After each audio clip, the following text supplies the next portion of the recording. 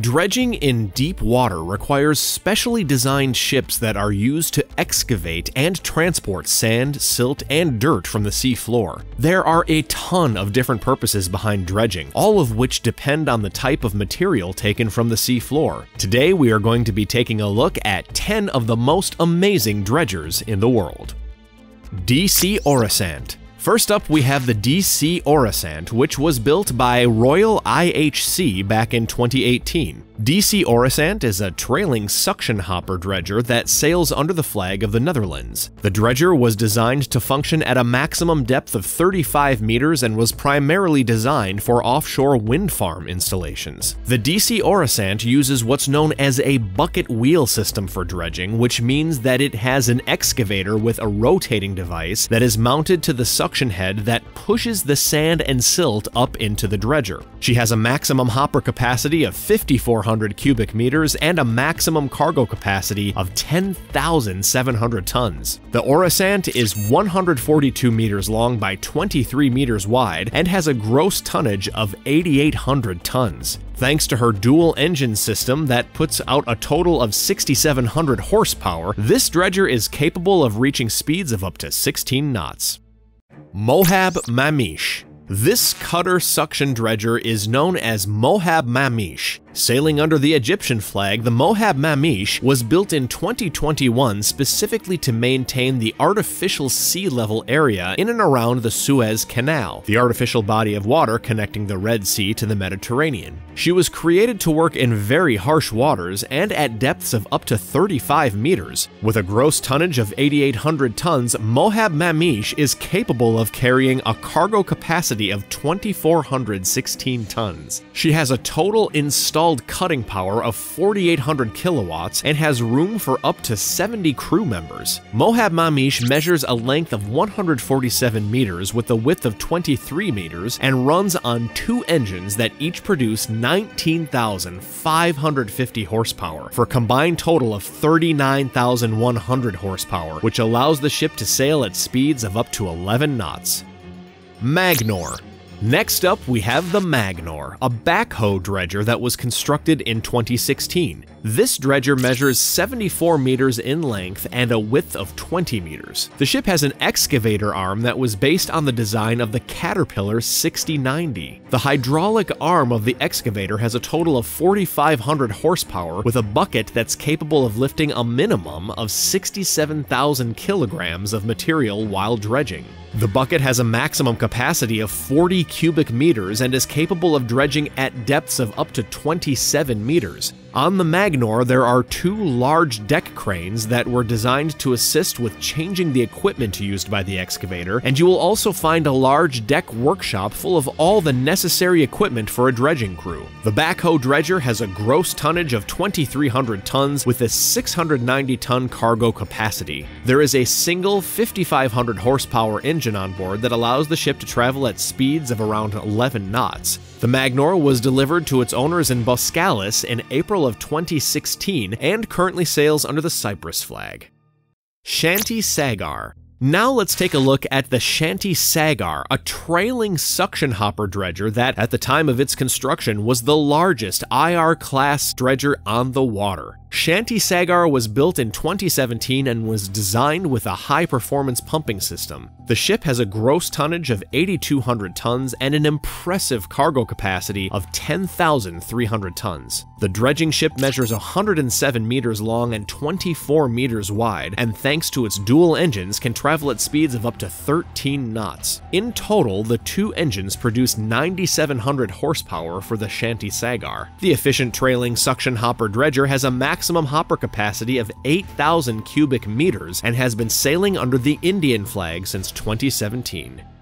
Mahury the twin screw trailing suction hopper dredger known as Mahury was designed and constructed in 2016 and currently sails under the flag of the Netherlands. She is able to function in water up to 30 meters deep and has a hopper capacity of 1840 cubic meters. What makes Mahury so impressive is its ability to not only dredge up sand and silt, but also distribute it in very precise locations by ejecting it from the ship using using GPS coordinates to maintain perfect accuracy for land distribution. The dredger is 75 meters long and 13 meters wide. It has two engines, each capable of producing 950 horsepower for a total of 1900 horsepower, allowing Mahury to travel at speeds of up to 9 knots. With a gross tonnage of 1700 tons, the Mahury has a total cargo capacity of 1600 tons.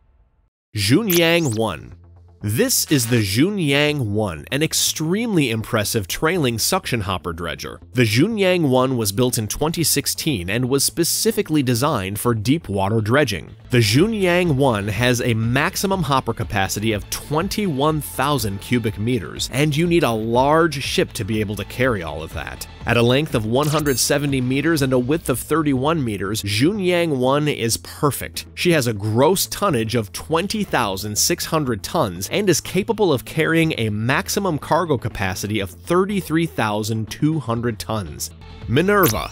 Here we have the Minerva, a trailing suction hopper dredger that was constructed for DEME by the Royal IHC. She sails under the Belgium flag and has been in operation since mid 2017. The vessel is 84 meters long and 18 meters wide with a draft of 5 meters. The hydrodynamic hull design, along with its dual propulsion system, allows the Minerva to dredge and conduct maintenance in very shallow water for an extended period of time. The dredger's hopper has a capacity of 3,500 cubic meters and it's able to conduct work at a maximum depth of 30 meters. The trail suction hopper dredger has a gross tonnage of 3,900 tons and a maximum cargo capacity of 2,700 tons. The Minerva has two engines, each putting out 3,250 horsepower for a combined total of 6,500 horsepower, and they allow the vessel to reach speeds of up to 12 knots. But what really makes the Minerva one of the most interesting interesting dredging ships in the world is that it was the world's first trailing suction hopper dredger to run on liquefied natural gas, or LNG.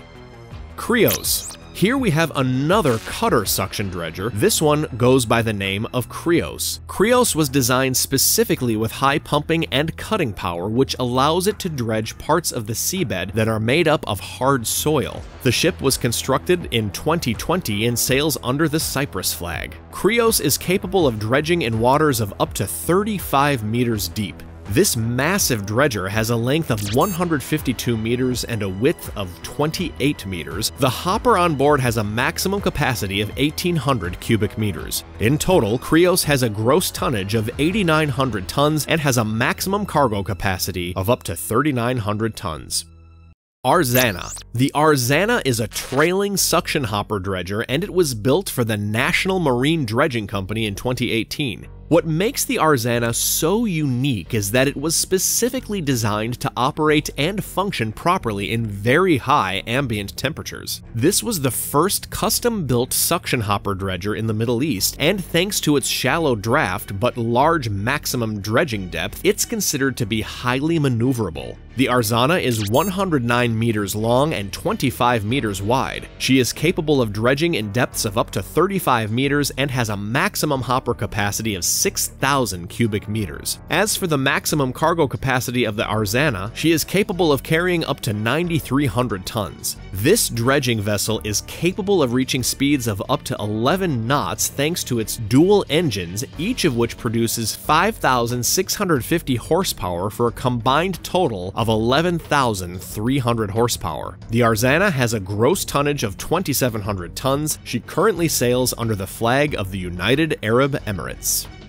Spartacus Last but not least, we have the Spartacus. This massive cutter suction dredger was built in 2021 and officially entered service in August of that year. Spartacus is the largest cutter suction dredger in the world, measuring at a length of 164 meters and a width of 34 meters. She has a gross tonnage of 18,400 tons and is capable of carrying a maximum cargo capacity of 6,400 tons Spartacus also happens to be one of the few dredgers in the world that was designed to run off liquefied natural gas, and thanks to her six engines, which produce an insane total of 59,200 horsepower, she is able to travel at speeds slightly above 11 knots. Spartacus is capable of dredging at a maximum of 45 meters and has a maximum hopper capacity of 8,400 cubic meters. The ship currently sails under the flag of Belgium.